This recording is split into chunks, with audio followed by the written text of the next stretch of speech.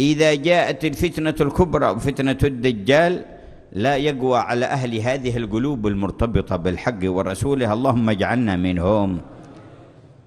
برابطة بهذا الجناب تتذاوب أكبر الفتن. أكبر فتنة اليوم فتن كثيرة منتشرة ولكن أكبر فتنة ستأتي بعد ذلك فتنة الدجال المسيح. أجارنا الله من شره وفتنته ووقانا فتنته وأهلينا أولادنا وذرارينا. وهذه برابطة بسيطة بالحبيب. يقول من قرأ عشر آيات من سورة الكهف. يرتب من عمره لحظات يقرأ فيها عشر آيات. قال وقية فتنة الدجال. أكبر فتنة ما عاد إيش السبب؟ ارتبط بالرب عبر الأطيب. قرأ آيات.